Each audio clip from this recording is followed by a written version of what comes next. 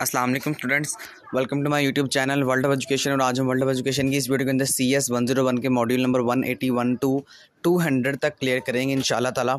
और स्टूडेंट्स इसके अलावा आपसे रिक्वेस्ट है कि बहुत ज़्यादा मेहनत लगती है आपके लिए वीडियोज़ बनाने में तो काइंडली मेरे चैनल को सब्सक्राइब करना मत भूलें।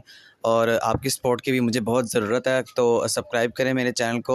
और जहाँ तक हो सकता है, इसका लिंक जो है वीडियो का शेयर करें सोशल मीडिया प्लेटफॉर्म पे, ताकि मेरे सब्सक्राइबर्स इंक्रीज़ और मुझे बनाने, आपके लिए वीडियोस बनाने का फ़ायदा हो सके। इसके अलावा स्टूडेंट्स जो है, मैंने C S one zero one की फाइनल टर्म की प्रिपरेशन अपने चैनल पर अपलोड कर दी है तो लिंक उसका डिस्क्रिप्शन में मौजूद होगा। तो आपने वो जाके लाजमी सुननी है। वो बहुत ज़्यादा इंपॉर्टेंट है। सारे के सारे एम जो कि पास पर दो हज़ार बीस में पूछे गए थे तो वो आपके पेपर में भी आ सकते हैं। तो बहुत ज़्यादा इंपॉर्टेंट वो तैयारी है आपके लिए। तो आप जाके लाजमी सुने। इसके अलावा इस्लामिया टू वन की भी मैंने कर दी है। और इन बाकी सब्जेक्ट जो एमजीटी वगैरह वगैरह जितने भी सब्जेक्ट्स हैं, जहाँ तक पॉसिबल हो सकता है और एज़ सुन एज़ पॉसिबल जो है वो मैं अपडेट करने की कोशिश करता हूँ आपके लिए, आपको अपलोड करने के लिए। सॉरी मतलब अपडेट अपलोड करने की मैं कोशिश करता हूँ आपके लिए वीडियोज़ ताकि आपको फ़ायदा हो सके। तो चलते हैं अपनी वीडियो की तरफ़। सबसे पहले तो ये वही जो है ला और वगैरह वगैरह की बात करें, जो कि आप 180 तक पढ़ के आ चुके हैं। पेटेंट ला शॉर्ट फॉर्म में तब एप्लीकेबल होता है जब आपने किसी का भी आइडिया जो है वो चोरी कर लिया है और उस आइडिया पे आप चोरी करने के बाद आपने वर्किंग शुरू कर दी तो अब आप पे पेटेंट ला जो होगा वो एप्लीकेबल हो जाएगा। तो बीस ईयर के लिए ये ग्रांटेड होता है तो ये आपने पढ़ लेना है। एज अ शॉर्ट क्वेश्चन ये आ सकता है। कॉपीराइट आप सबको पता है, जिस तरह फॉर एग्जांपल अगर हम यूट्यूब की बात करें या किसी भी वेबसाइट्स की बात करें तो आपने मेरी जो वीडियो है, अपने चैनल पर अपलोड कर ली है तो अब आपको कॉपीराइट क्लेम दे सकता हूँ मैं कि आपने मेरा मटेरियल जो है, वो विदाउट माई परमिशन अपने चैनल पर अपलोड कर दिया है। तो इस तरह का जो मटेरियल होता है, ये कॉपीराइट क्लेम होता है, और इसे हम कॉपीराइट कहते हैं। तो इस पर बाहर के कंट्रीज़ में सज़ाएँ भी होती हैं, लेकिन यहाँ पर अनफॉर्चुनेटली कोई भी सज़ा नहीं होती। इसके अलावा डेटाबेस राइट की बात करें तो क्या कह रहा है database right apply to database which are not protected by copyright इसका मतलब ये है कि डेटाबेस जो होता है, इसका आप प्रोटेक्ट कर सकते हैं अपने कॉपीराइट पर। मैक्सिमम जो इसका ड्यूरेशन होता है वो पंद्रह साल का होता है। डिज़ाइन राइट की बात करें तो वही है कि अगर आपने एक डिज़ाइन बनाया है तो डिज़ाइन बनाने के बाद अगर वो डिज़ाइन किसी ने कॉपी कर लिया तो अब आपका राइट है कि आप उस पर क्लेम कर सकते हैं, आप उसे अनरजिस्टर्ड कर सकते हैं। इसके अलावा ट्रेडमार्क की बात करूँ तो ट्रेडमार्क क्या होता है? आप सबको पता है ये एक लोगो होता है, जिस तरह मेरे अपने चैनल का लोगो है वर्ल्ड ऑफ़ एजुकेशन अब अगर आपने मेरा लोगो जो है विदाउट माई परमिशन उठा लिया चोरी कर लिया या अपने चैनल पर अपलोड कर दिया तो फिर भी मैं आपको जो है वो जो कॉपीराइट क्लेम है, या इसके अलावा मैं आपको जो है वो दे सकता हूँ कि आपका चैनल या आपकी वेबसाइट को डिस्ट्रॉय करवा सकता हूँ। उस मुतल इदारे से जहाँ पर आप अपनी चैनल या आप अपना वेबसाइट को रन कर रहे हैं। इसी के साथ साथ कॉन्फिडेंशियल इन्फॉर्मेशन है तो ये आप काइंडली खुद से पढ़ लीजिएगा। ये बता रहा है कि इसकी सज़ा वगैरह कितनी है मैक्सिमम ड्यूरेशन वगैरह कितना है, ये as a M C Qs point of view बहुत ज़्यादा इंपॉर्टेंट है। तो इसको आपने जो है वो स्किप नहीं करना है, जो सारा टेबल आपके सामने यहाँ पर शो हो रहा है, ठीक है? मैंने यहाँ हाईलाइट भी कर दिया सारे टेबल आपने पढ़ लेना है ओके आगे चलते हैं नेक्स्ट मॉड्यूल में। तो अब सी एस के क्या क्या इम्पैक्ट पड़ते हैं सोसाइटी पर? तो सबसे पहले computer security also known as cyber security बहुत ज़्यादा इंपॉर्टेंट हमसे एम है। ये आपके पेपर में बहुत दफ़ा पूछा गया है 2020 में, आप में भी आ सकता है। इसके अलावा ये भी आ सकता है कि cyber security is also called I security ठीक है? उसके आगे देखें what are the concern of computer security computer security के क्या क्या है? इसके चार मेन आइडियाज़ हैं। एक आपके पास कॉन्फिडेंटली है ठीक है जी? उसके अलावा आपके पास इंटीग्रिटी है अवेलेबिलिटी है और अथेंटिकेशन हैं। कॉन्फिडेंटली क्या होता है? अगर आप एक ही ऑथराइज यूज़र हैं जो आप यूज़ कर रहे हैं अपना डेटा तो आप जो है वो कॉन्फिडेंटली अपना डेटा इस्तेमाल कर सकते हैं। इंटीग्रिटी का मतलब ये होता है कि एक only authorized user should be know to modify the data when needed यानी कि अगर आपको अपने डेटा की ज़रूरत है तो सिर्फ़ राइटर को पता है कि मैंने अपना डेटा किस तरह से मॉडिफाई करना है। अवेलेबिलिटी का मतलब ये होगा कि आपका डेटा कितना अवेलेबल है या कहाँ कहाँ पर आपका डेटा अवेलेबल होगा या आपका वहाँ पर डेटा अवेलेबल भी है जहाँ पर आपको ज़रूरत है। इसी के साथ अथेंटिकेशन का मतलब ये है कि आप बिल्कुल अथेंटिक होते हैं अपने कम्युनिकेशन में। यानी अब आपको पता है कि सारा डेटा या सारा मटेरियल मेरा है तो अब यहाँ पर कोई भी क्लेम मुझे नहीं कर सकता। इसके अलावा कंप्यूटर सिक्योरिटी क्यों ज़्यादा इंपॉर्टेंट है तो आप सबको पता है, आपका जो डेटा होता है वो बहुत ज़्यादा इंपॉर्टेंट होता है, जिसकी वजह से आपकी कंप्यूटर सिक्योरिटी बहुत इंपॉर्टेंट है। कंप्यूटर सिक्योरिटी को किस तरह से जो है वो डिटेक्ट किया जाता है? फ़र्स्ट ऑफ़ ऑल तो हैक कर लिया जाता है। इसके अलावा आप पासवर्ड लगा के रखें। यहाँ पर दो मायने हो सकते हैं कंप्यूटर सिक्योरिटी के। एक मतलब इसका ये हो सकता है सकता है कि आपकी सिक्योरिटी में कोई अनऑथोराइज पर्सन ना आ जाए। दूसरा ये हो सकता है कि अनऑथोराइज पर्सन आपके कंप्यूटर में वायरस को डिटेक्ट ना कर दे। तो ये सारी इन्फॉर्मेशन इसके अंदर लिखी हुई है, वही है जो मैंने आपको बता दिया है। उसके आगे देखें फायरवॉल क्या होता है? फायरवॉल एक सिक्योरिटी कंसियस पीस होता है हार्डवेयर का और सॉफ्टवेयर का। ये आपके कंप्यूटर में वायरस आने से डिटेक्ट करता है। यानी कि इस तरह समझ लें आप फायरवॉल को याद रखने के लिए कि ये एक तरह की वॉल है, दीवार है, जो कि आपको या अनऑथराइज पर्सन को आपके घर के अंदर, घर आपका यहाँ पर कंप्यूटर है तो अनऑथराइज पर्सन आपके घर के अंदर यहाँ पर दाखिल नहीं हो सकता। ये उससे डिटेक्ट करता है और ये किस पर काम करता है? ये इंटरनेट और लैन जो नेटवर्क है, उसके थ्रू काम करता है। एज अ शॉर्ट क्वेश्चन ही आपको और एज अ एम सी आपसे पूछा जा सकता है कि डिफाइन फायरवॉल तो ये आपने जो है यहाँ, जहाँ तक मैंने हाईलाइट किया ओवरऑल पूरा पैराग्राफ है, इसको जहाँ तक आपने समझना है और उसके बाद आपने इसको याद करके अपनी वर्डिंग में लिख लेना है। नेक्स्ट मॉड्यूल की बात करें तो सी के प्राइवेसी क्या होती है? तो प्राइवेसी का भी आपको सबको पता है कि individual right to own the data generated by his or her life and activities यानी कि मेरा डेटा अलग होगा, आपका डेटा अलग होगा। अब डेफिनेटली अब आपको प्राइवेसी चाहिए, मुझे भी प्राइवेसी चाहिए, जो कि मैं अपनी बात जो है किसी भी उस ऑथराइज पर्सन के साथ शेयर करना चाहता हूँ तो मैं नहीं चाहता कि मेरे या उस बंदे के दरमियान जिसे मैं अपनी बात शेयर कर रहा हूँ वो किसी और को आगे बात बताए तो ये प्राइवेसी आ जाती है। इस तरह से डेटा में होता है। आप अपने डेटा को जो है वो लीक नहीं करना चाहते तो आप उस पर प्राइवेसी लगा देते हैं, जिस तरह फेसबुक पर आप अपनी प्राइवेसी को इनेबल कर सकते हैं। डेटा आता कहाँ कहाँ से है? फेसबुक है ट्विटर है, जो सोशल साइट्स हैं, इसके अलावा टेलीफोन है आपका ईमेल्स हैं, इसके अलावा कैमराज हैं पर्सनल सॉफ्टवेयर वगैरह वगैरह। तो ये सारी इन्फॉर्मेशन आपने खुद से पढ़ लेनी है पर्सनल इन्फॉर्मेशन इसको आप स्किप कर सकते हैं। E P I C stand for as a M C Qs आपसे पूछा जाता है कि E P I C stand for तो इलेक्ट्रॉनिक प्राइवेसी इंफॉर्मेशन सेंटर और P I stand for privacy international ठीक है, ये मैंने दो हाईलाइट कर दिए as a M C Qs आपसे पूछते हैं। तो इसको भी आपने खुद से एक दफ़ा रीड आउट कर लेना है। बहुत ज़्यादा मुश्किल नहीं है। जो समझ नहीं आएगा तो मुझसे कमेंट्स में लाजमी आपने पूछ लेना है। अब सोशल इशूज़ क्या हैं आई टी के? सबसे पहले dear students what is I T I T stand for information technology अब क्या होता है, अब इंफॉर्मेशन टेक्नोलॉजी के अंदर आप बात करते हैं कि आपका डेटा एक जगह से दूसरी जगह पर किस तरह से जो है वो कम्युनिकेट कर सकता है, जा सकता है ट्रैवल कर सकता है within a nano and macro seconds तो सबसे पहले communication break down socialize within a family unit has always been important यानी कि आप अगर सोशल बात करें अपनी फैमिली से तो ये बहुत ज़्यादा इंपॉर्टेंट है कि आपके जो स्ट्रेंथ्स हैं बिटवीन एस एंड जिससे आप बात करें उस ग्रुप के साथ वो टूटे ना। इसके अलावा जो डिफॉर्मेशन ऑफ़ करेक्टर है, इसका मतलब क्या होता है? The only means of getting in touch with major corporation or famous people in the public eye prior to the advent यानी कि इसका मतलब क्या होता है? कि अगर कोई भी एक फ़ेमस पर्सनैलिटी है, जिस तरह एक्टर्स आ जाते हैं, कोई बड़े बड़े इस्लामिक स्कॉलर्स आ जाते हैं कोई प्रोफेसर आ जाते हैं या कुछ भी तो वो अगर बात करना चाहते हैं अपनी फेसबुक पे, अपनी ट्विटर अकाउंट्स पे और डिफेम करते हैं पीपल को तो इस तरह का मतलब इसका ये होता है कि जो बड़े बड़े लोग होते हैं, उनको ज़्यादा जल्दी प्रमोशन मिल जाती है, बनस्बत एक आम पीपल के। इसके अलावा आइडेंटिटी थीव का मतलब क्या होता है? यानी आइडेंटिटी को चुरा लेना आपकी। अगर आपका चैनल है एक यूट्यूब पर या इसके अलावा आप फेसबुक पर आपकी आईडी है तो अगर आप उसे हैक करवा लेते हैं या कोई आपके उसको हैक कर देता है तो ये आपकी आइडेंटिटी को थीव कर रहे हैं। यानी कि यहाँ पर आपकी आइडेंटिटी को चोरी कर रहे हैं और आपकी आइडेंटिटी से आगे जो है वो कोई भी काम वो करवा सकते हैं। साइबर बलिंग क्या होता है? इसका मतलब होता है कि defamation of public figures the internet and computer also have made it easier so spiteful people to attract people that know personally as well as perfect strangers मतलब क्या इसका, अब आप इसके ज़रिए क्या कर सकते हैं? अगर तो आप, ये देखिए, इसका एक तरह से फ़ायदा भी होता है और एक तरह से इसका नुकसान भी होता है। कि अगर तो आप परफेक्ट स्ट्रेंजर को अपनी तरफ़ भी मतवजा करते हैं, तब आपका डेटा लीक होने का खतरा होता है। इसी के साथ साथ अगर आप पर्सनली अपने डेटा को जो है, वो लोगों तक पहुँचाना चाहते हैं, जो कि जिनको आप जानते हैं तो वो आपके लिए जो है, वो फ़ायदेमंद होता है।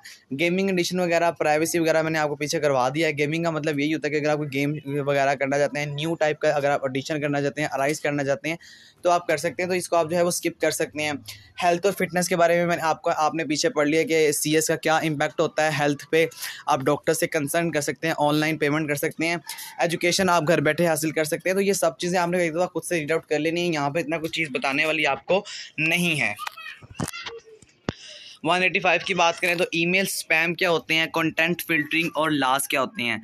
सबसे पहले देखें ये हाउ इट वर्क ये वर्क किस तरह करता है content filtering work by matching strings of characters as a M C Qs आपसे ये पूछा जा सकता है कि कंटेंट जो फिल्टरिंग होता है, ये किस तरह से वर्क करता है? ये स्ट्रिंग्स के थ्रू वर्क करता है, जो कि करेक्टर्स के होते हैं when the strings match the content is not allowed through अगर तो आपका स्ट्रिंग मैच कर गया तो ये आपका कंटेंट को ये अलाउ नहीं करेगा कि आप अपना कंटेंट किसी को आगे भी भेज सकें। ईमेल स्पैम का मतलब क्या होता है? स्पैम का मतलब एरर अगर तो आपकी ईमेल में एरर आ गया, कोई मेजर इश्यूज़ आ गए, तब भी आपको जो है वो as a citizen spam consider किया जाता है। यानी कि देखिए पर लिखा हुआ है and email spam continue to become a major issue government around the world have put specific regulations in place to protect their citizen from spam यानी कि गवर्नमेंट की तरफ़ से ये बहुत ज़्यादा कोशिश होती है कि आपको जो है वो स्पैम यानी एरर से बचाया जा सके।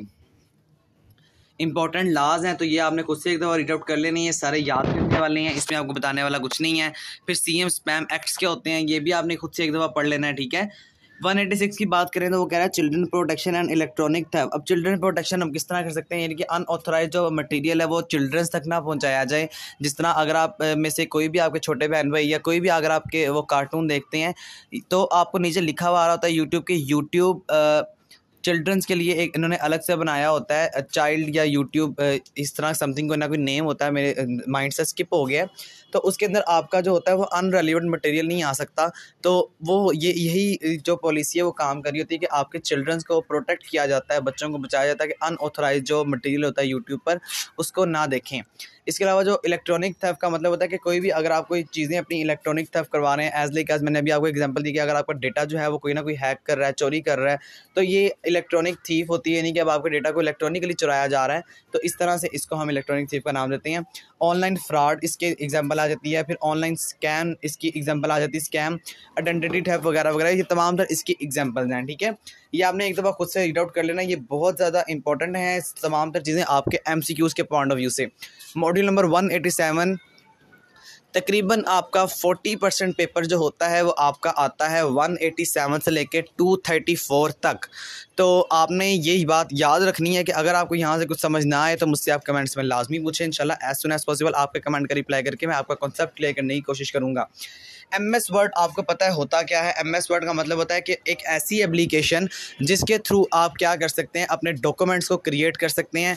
ना सिर्फ़ आप अपने डॉक्यूमेंट्स को क्रिएट कर सकते हैं, बल्कि आप अपने डॉक्यूमेंट्स को बना सकते हैं, सवार सकते हैं चेंजिंग कर सकते हैं एडिटिंग कर सकते हैं, वगैरह वगैरह। तो इस तरह का इंटरफेस जो होता है जो आपको यहाँ पर तस्वीर में भी शो हो रहा है। इस तरह का इंटरफेस होता है आपकी एम एस वर्ड की होम स्क्रीन का। तो यहाँ पर मुख्तु तरह की चीज़ें होती हैं एम एस वर्ड डॉक्यूमेंट्स वगैरह वगैरह रिसेंट डॉक्यूमेंट्स हैं तो ये तमाम चीज़ें आप आगे जाके पढ़ेंगे। तो ये बेसिक सा सारा नॉलेज है, इसको आपने एक दफ़ा खुद से रीड आउट कर लेना है। कुछ समझ ना आए तो आप मुझसे पूछ सकते हैं। अच्छा यहाँ पर देखिए, यहाँ पर मैं जहाँ से हाईलाइट किया, यहाँ पर आपको एग्जांपल दे रहा है कि आप अपने बोल्ड को, आप अपने कंटेंट को किस तरह से जो है वो बोल्ड कर सकते हैं। ठीक है तो आपको बोल्ड किस तरह से किया किया जाता है कि आपको इसके लिए एक शॉर्टकट की भी होती है कंट्रोल प्लस बी तो इसका मतलब है कि आप जिसको सेलेक्ट करेंगे, उसको आप बोल्ड कर सकते हैं। तो यहाँ पर देखें, इसने आपको बताया हुआ है कि बोल्ड बटन ऑफ़ का मतलब ये होता है और बोल्ड बटन ऑन का मतलब इस तरह होता है। यानी कि अगर आपका जो बोल्ड है, उसके थोड़ा सा हाईलाइट क्यों हुआ हुआ है तो वो ऑन है। अगर हाईलाइट नहीं हुआ, वो तो ऑफ़ है। तो बेसिक सी चीज़ें सारी ये आपको पता होंगी। अंडरलाइन करने का तरीका भी आपको पता है कि अंडरलाइन आप मुख्तु तरह के, अगर आप डबल अंडरलाइन करना चाहते हैं तो आप वो उसके साथ ही अंडरलाइन के साथ बटन बना होता है। वहाँ पर जाकर अंडरलाइन कर सकते हैं। इसके अलावा आपको बता रहा है कि आपका क्लिप बोर्ड है और ये जो आपका बिल्कुल राइट साइड पर और लेफ़्ट साइड पर होता है, ये आपका लॉन्च बटन होता है, ठीक है? तो ये as a M point of view से आपने चीज़ों को याद रखना है। यहाँ से आपकी चीज़ें ज़्यादा पूछी जाती हैं यहाँ पे छोटे छोटे एम हैं बट ये बहुत ज़्यादा इंपॉर्टेंट होते हैं।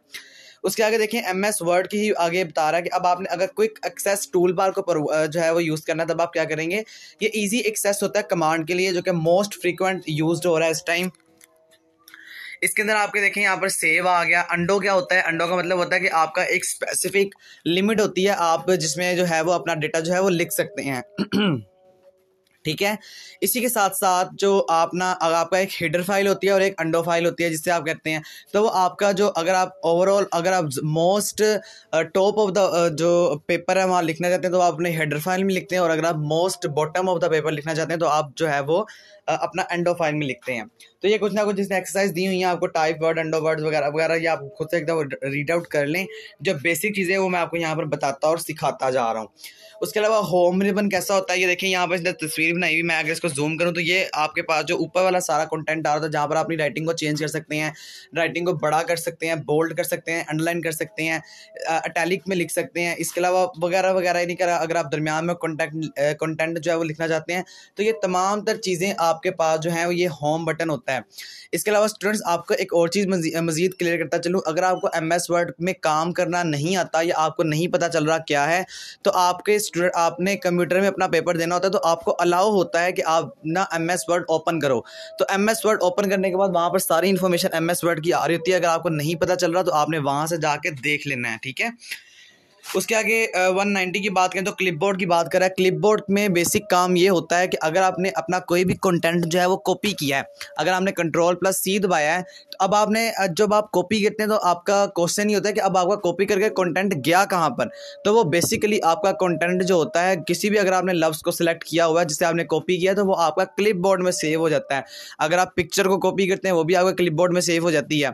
और फिर बाद में जाके आप उसे पेस्ट कर देते हैं, ठीक है? तो ये आपका सारा काम होता है क्लिप बोर्ड का कट एंड पेस्ट की वही बात कर रहा है और इसकी शॉर्ट एग्ज़ाम जो शॉर्टकट कीज़ होती हैं वो आपसे एम के बारे में पूछी जाती हैं। तो कंट्रोल प्लस सी होती है शॉर्ट की कॉपी की कंट्रोल प्लस वी होती है आपके पास पेस्ट की और कंट्रोल प्लस एक्स की होती है आपके पास कट की। ये तीनों आपने कीज़ को याद रखना है और ये आपको यहाँ कहीं ना कहीं बताई भी होंगी। तो एक दफ़ा इसको खुद से आपने रीड आउट कर लेना है। कोई कुछ अगर समझ नहीं आएगा तो मुझसे लाजमी पूछ लेना। वैसे तो बहुत इजी वर्किंग है ये आपको बताने की मुझे ज़रूरत नहीं है। जो बेसिक बातें वो मैंने आपको यहाँ पर बता दी हैं। और ये देखें, मैं यहाँ पर इसे हाईलाइट भी कर रहा हूँ। यहाँ पर इसने ये की जो है वो लिखी हुई है इसने। ठीक है?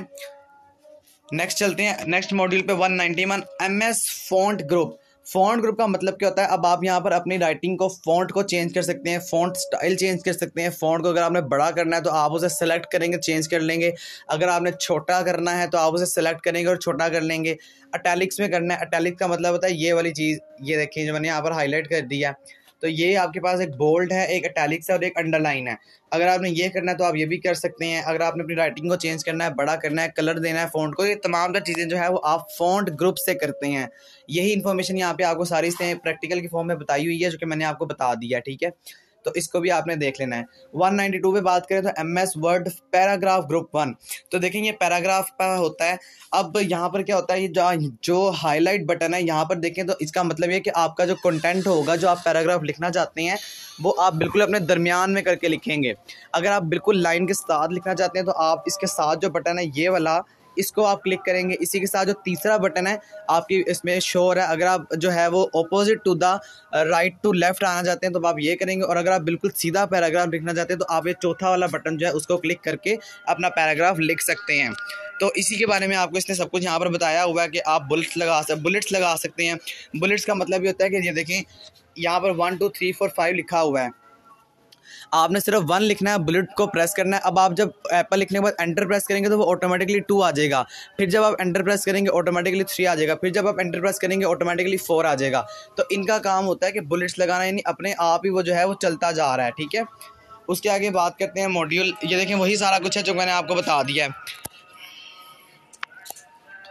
ओके जी। M S word paragraph group two की बात करेगा, यहाँ पर वो कह रहा है कि लिस्ट आपके पास पाँच है, अगर आपने इसे सेलेक्ट किया तो आप होम टाइम में जा सकते हैं। उसके बाद अगर आपने इसको दरमियान में लिखना है, तब आप किस पे जाएँगे? ये देखें बुलेट्स की कुछ ना कुछ जो है वो एग्जांपल्स होती हैं। अगर तो आप वन टू लिखना चाहते हैं तो वो भी ठीक है। अगर आप ये जो डॉट का साइन है वो डालना चाहते हैं तो वो ठीक है। इसके अलावा आपने अपने हैंडवर्ड्स में भी देखा होगा, ये जो टिक का साइन है, ये डालना चाहते हैं, ये या जो एयरप्लेन का साइन है, या जो चार बटन है, यानी कि चार ये जो आपके सामने शो हो रहा है, इसको आप डालना चाहते हैं तो ये भी आप जो है वो डाल सकते हैं। एम एस वर्ड आपको ये चीज़ें भी प्रोवाइड कर देता है। तो इसी के साथ साथ हम नेक्स्ट मॉड्यूल की बात करेंगे module number one ninety four की। अगर आपने एम एस वर्ड में स्टाइल ग्रुप को चेंज करना है तो आप क्या करेंगे? देखें स्टाइल ग्रुप का मतलब ये होता है कि ये आपके पास यहाँ पर बॉक्स शो भी हो रहा है यहाँ से आप अपने डिफरेंट स्टाइल को चूज़ करके चेंज कर सकते हैं। अगर तो आपने थोड़ा सा बोल्ड डिज़ाइन करना है तो आपके पास यहाँ पर तीसरा देखें आप उसको कर सकते हैं। या अगर आप चाहते हैं कि थोड़ा उससे ज़्यादा हो जाए तो आप हेडिंग टू पे कर सकते हैं। और अगर आप नॉर्मल रखना चाहते हैं तो आप पहले पे कर सकते हैं। तो यही बातें इसने आपको इस मॉड्यूल के अंदर बताई हुई हैं। इंपॉर्टेंट लाइन देखें यहाँ पे। A set, a style is a set of formatting characteristics such as font, name, size, color, paragraph, alignment. और ये आपका एज एम पूछा जा सकता है तो इसको आपने अच्छी तरह रीड आउट कर लेना है। स्टूडेंट्स रीडिंग आपने खुद करनी है, बिल्कुल जो बेसिक कॉन्सेप्ट है, वो मेरा काम है आपको समझाना और आपको बता देना। उसके अलावा देखें एडिटिंग ग्रुप क्या होता है? एडिटिंग का मतलब होता है कि अगर आपने अपना एक डॉक्यूमेंट फाइनलाइज कर लिया है तो अब फाइनलाइज करने के बाद अब आपको ज़रूरत पड़ती है कुछ ना कुछ उसमें ऐड करने की तो आप अपने डॉक्यूमेंट को दोबारा एडिट भी बड़ी आसानी से कर सकते हैं। सेलेक्ट करना है, आपने रिप्लेस करना है फाइंड करना है एडिटिंग करना है तो ये तमाम जो चीज़ें भी आप जो है वो ईजिली कर सकते हैं। सेलेक्ट करने के बाद, ठीक है? इसके अलावा M S word insert function function functionality जो आपके पास आ जाती है, जिसे आप जो है वो फंक्शनैलिटीज़ कहते हैं। यहाँ पर देखें तो अब आपने इंसर्ट पर जाना तो इंसर्ट पर जाने के बाद इस तरह का एक होम पेज आपके सामने ओपन हो जाता है। यहाँ से आप चार्ट्स बना सकते हैं स्मार्ट आर्ट कर सकते हैं शेप्स वगैरह कर सकते हैं टेबल अपना यहाँ से कंटेंट में जो है वो शो कर सकते हैं।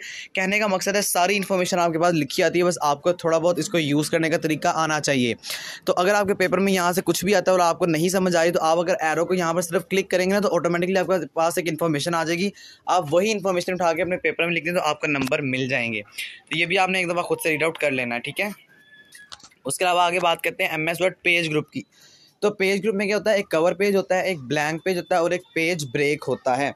अब बात करते हैं कवर पेज की। कवर पेज का मतलब क्या होता है? कवर पेज का मतलब ये होता है कि देखें these feature are useful if you are creating a professional or long document अगर तो आप एक लॉन्ग डॉक्यूमेंट बना रहे हैं, जिस तरह आपकी एक बुक्स होती हैं तो बुक्स के ऊपर आपका जो गत्ता होता है, वो कवर पेज होता है। पहले उसको ड्रॉ किया जाता है, फिर उसे गत्ते की फॉर्म में जो है वो प्रिंट कर दिया जाता है। ब्लैंक पेज का मतलब बिल्कुल खाली पेज जो कि आपके सामने ओवरऑल शो होता है, आपने अपनी असाइनमेंट्स क्रिएट की हुई हैं, उसके अंदर शो हो जाता है। और पेज ब्रेक का मतलब ये होता है कि आप जिस तरह देखें, यहाँ तक ये ये आपके पास एक मॉड्यूल है। अब यहाँ तक आपके पास नीचे जो है, यहाँ पर ये खाली स्पेस था और यहाँ पर आप जो है अपना कवर कर सकते थे, लेकिन आपने कवर क्यों नहीं किया? अब यहाँ पर आपने पेज को ब्रेक किया और आप नेक्स्ट पेज पे चले गए हैं। तो ये आपके पास एग्जांपल है, ठीक है? आगे से इसको एक्सप्लेन भी किया हुआ है। इसको आप एक दफ़ा खुद से रीड आउट लाजमी कर लें। उसके आगे 198 बात करें तो टेबल ग्रुप टेबल का मतलब क्या होता है कि अगर आप टेबल को अपनी इन्फॉर्मेशन को टेबल की फॉर्म में लिखना चाहते हैं तो आप टेबल ग्रुप जो है वो क्रिएट करते हैं टेबल्स को क्रिएट करेंगे और टेबल्स को क्रिएट करने के बाद आप जो है अपना डेटा उसके अंदर ईजिली फाइंड आउट कर सकते हैं या उसके अंदर एडिटिंग कर सकते हैं राइट कर सकते हैं। कैसे आप टेबल पर क्लिक करेंगे? इस तरह का डेटा आपको सामने शो होगा। आप माउस को इसके ऊपर जो है वो कर्सर से करते जाएँगे प्रेस करते जाएँगे और आपका डेटा आपकी कंटेंट शीट पर जो आपके जो ब्लैंक पेज है उसके ऊपर बनता जाएगा। और अगर आप खुद से पेज बनाना चाहते हैं तो आप यहाँ पर देखें ड्रो टेबल लिखा हुआ है। ड्रॉ टेबल पे आप क्लिक करेंगे रोज़ और कॉलम को देंगे टू बाई टू का बनाना है थ्री बाय थ्री का टेन बाई टेन का बनाना है तो आप देंगे और एंटर प्रेस करेंगे तो ऑटोमेटिकली आपके सामने एक टेबल टेन बाई टेन का शो हो जाएगा। तो ये इस तरह से काम करता है। चलते हैं सेकंड लास्ट मॉड्यूल की तरह। तो यहाँ पर देखें अब आपके पास आ गया एलिट्रेशन ग्रुप इसका मतलब क्या होता है ये भी फ़ाइल में जाके आप ये वही बात है जो कि हमने आपको पहले भी बता दिया अगर आप अगर आप शेप्स बनाना चाहते हैं स्मार्ट आर्ट करना चाहते हैं चार्ट वगैरह बनाना चाहते हैं तो आप इसी ग्रुप में जाके तमाम तर काम अपना कर सकते हैं ठीक है? उसके आगे आ, ये देखें, ये शेप्स हैं और आप सब इससे वाकिफ़ होंगे। अगर आपको, सबको पता है कि 2021 में आपकी ये असाइनमेंट भी आई हुई थी तो इसी इसी में जाके आपने जो है अपनी असाइनमेंट को क्रिएट किया हुआ था। तो ये तमाम शेप्स हैं जिनको आप जाके इसकी मदद से आप क्रिएट कर सकते हैं। स्मार्ट आर्ट को इसी को कहते हैं जो आप जो है वो अपना एक कह सकते हैं कि चार्ट वगैरह बना रहे हैं या ग्राफ बना रहे हैं तो वो भी आपका इसी के अंदर जाके होता है। लास्ट मॉड्यूल की बात करें M S word media and links group की। इसके अंदर क्या होता है? Hyperlink hyperlink is use to add links to other document तकरीबन 200 जो मॉड्यूल है, ये बहुत इंपॉर्टेंट मॉड्यूल है as a M C Qs point of view इस मॉड्यूल को आपने ज़रा सा भी स्किप नहीं करना। अगर आप स्किप करेंगे तो आपका बहुत बड़ा नुकसान होगा। तकरीबन यहाँ से आपका पेपर जो है वो फाइव टू टेन परसेंट आपका आता होता है M S word M S excel और एम एस पावर पॉइंट से। हर चीज़ को अच्छी तरह सीखें यहाँ पर तो ये तमाम तर इसने जो पॉइंट्स बताए हुए हैं, इसको आप पढ़ लीजिएगा। हाइपर लिंक मैंने आपको बता दिया कि आप इसके अंदर लिंक अपना ऐड कर सकते हैं, जिस तरह वेब पेजेस होते हैं, या आपने समटाइम क्या होता है, अपने हैंडआउट्स में भी देखा होता है, आपको एक लिंक दिया होता है, जब आप उस पर क्लिक करते हैं तो आप उस फ़िलहाल वेबसाइट पर पहुँच जाते हैं। तो ये हाइपर लिंक होता है, जो आपको वेबसाइट्स में या आपको डॉक्यूमेंट में दिया होता है, आपके हैंडआउट्स में भी दिया हुआ है। बुक मार्क की बात करें तो बुक मार्क क्या होता है? Book are a way to keep track of reading. They they are similar to bookmarks you keep while reading a favorite novel or a storybook, like turn the corner of the page. Bookmark कहते हैं कि जो आपके पास जो track of reading होता है as like as one two three इसके अलावा आप इसे क्रिएट किस तरह करते हैं? यहाँ पर इसने नीचे तीन स्टेप दिए हुए हैं कि how to use bookmark तो इसको आप एज आ शॉर्ट क्वेश्चन आपसे पूछ सकते हैं तो इसको आपने एक दफ़ा खुद से रीड आउट कर लेना है। तो स्टूडेंट्स यहाँ तक आपकी वीडियो थी। आई होप आपको समझ आ चुका होगा। कुछ अगर समझ नहीं आया तो मुझसे कमेंट्स में लाजमी पूछें। इंशाल्लाह एज सुन एज पॉसिबल मैं आपके कमेंट का रिप्लाई करके आपका कॉन्सेप्ट क्लियर करने की कोशिश कर दूँगा। इसके अलावा स्टूडेंट्स आपसे यही रिक्वेस्ट है, मेरा चैनल जो है वो सब्सक्राइब करें लाइक करें शेयर करें इस वीडियो को। और फाइनल टर्म की प्रिपरेशन मैंने जो है अपने चैनल पर अपलोड कर दी है। लिंक आपको डिस्क्रिप्शन में मिल जाएगा, वो लाजमी जाके सुने। और वो लाजमी जाके जो है वो देखें भी, इसके अलावा I S L two zero one की फाइनल टर्म का प्रिपरेशन भी लिंक मैंने आपको दे दिया, वो भी आप जाके लाजमी है जो है ना वीडियो को विज़िट करें, सुने और अच्छी तरह अपनी प्रिपरेशन करने के बाद जो अपना पेपर अटैम्प्ट करें। ओके स्टूडेंट मुझे इजाज़त दें। थैंक यू सो मच अल्लाह हाफिज़।